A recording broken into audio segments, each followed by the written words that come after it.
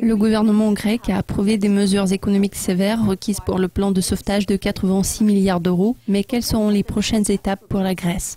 Pour en discuter, je reçois Mark Ostwald de ADM Investor Services International à Londres. Marc, quel avenir pour la Grèce? Vu que tout cela ne va pas marcher, je pense que la réponse est simple. Ce n'est pas une solution.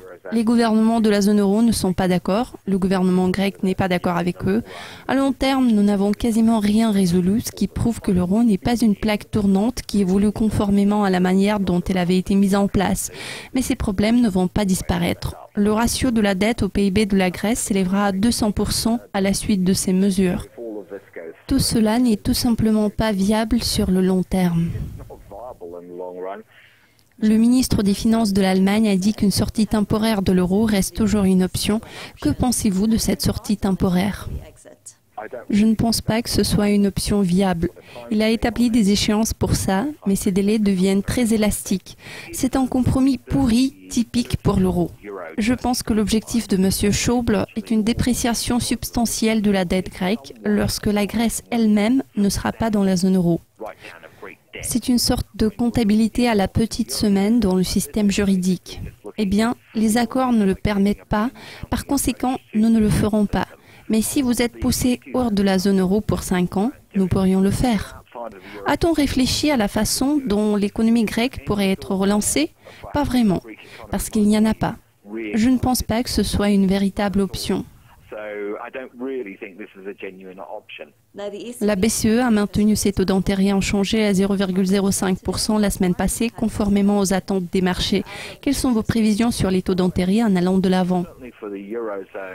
Pour ce qui concerne la zone euro, on dirait que les taux d'intérêt sont susceptibles de rester en attente, non seulement cette année, mais aussi tout au long de l'année prochaine. Maintenant, on ne voit qu'un gros nuage et il est inutile d'essayer de faire des prévisions par rapport à la façon dont les choses vont se dérouler d'ici 2017. Il y aura des élections en France et en Allemagne en 2017 et elles pourraient avoir de graves répercussions, mais pour le moment, pour les 18 prochains mois, je ne prévois pas de changement dans les taux d'intérêt dans la zone euro. Les données publiées la semaine dernière ont montré que l'inflation d'année en année a baissé de 0,1% contre la lecture de mai, restant toujours un peu loin de la cible de 2% de la BCE. Quelles sont les projections actuelles de la BCE concernant l'inflation cette année? Ça dépend en grande partie de l'évolution des prix du pétrole, ce qui influe sur d'autres développements, non seulement en Iran, mais en termes plus larges sur les perspectives de la production de pétrole globale. Si nous supposons que les prix du pétrole se stabiliseront dans leur fourchette récente grâce à des effets de base, l'inflation devrait reprendre vers la fin de l'année, mais pas plus que de 0,5% d'ici décembre. Il y aura d'autres effets de base qui se feront ressentir l'année prochaine, ce qui la pousserait vers une fourchette comprise entre 1,2 et 1,5% la BCE devrait porter son jugement basé sur la dynamique existante en termes d'inflation pour pouvoir dire qu'ils ont atteint leur cible et par conséquent qu'ils pourraient mettre en terme à leur programme d'assouplissement. Sinon, ils pourraient dire qu'il faudrait attendre que le taux d'inflation devienne beaucoup plus convaincant et plus proche des 2%. Beaucoup de choses restent incertaines. À mon avis, si l'économie mondiale se redresse quelque peu l'an prochain, les prix du pétrole pourraient regagner un peu de terrain, ce qui peut-être vers le milieu de l'été prochain amènerait la BCE à décider de mettre fin à son programme d'assouplissement quantitatif.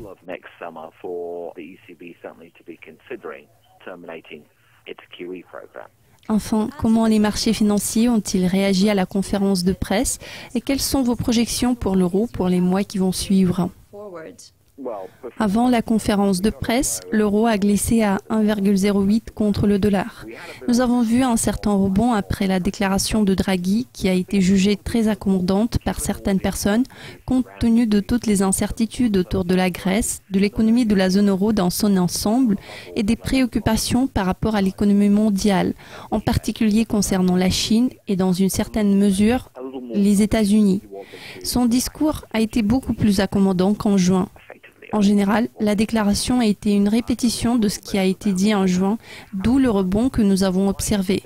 Cependant, en termes sous-jacents, sans prendre en compte les préoccupations concernant la Grèce, qui est assez compliqué, il n'est pas évident, alors théoriquement, on pourrait avoir des prévisions haussières sur le taux, surtout si on parle de l'euro-dollar, parce que nous espérons voir la première hausse des taux par la Fed cette année, probablement en septembre les risques sont nettement à la baisse pour l'euro.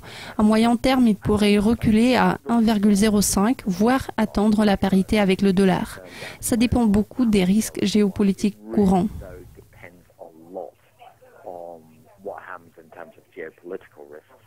Marc, je vous remercie de vos commentaires. C'est tout pour le moment, mais restez à l'affût de nos mises à jour régulières sur Ducascopy TV. À très bientôt.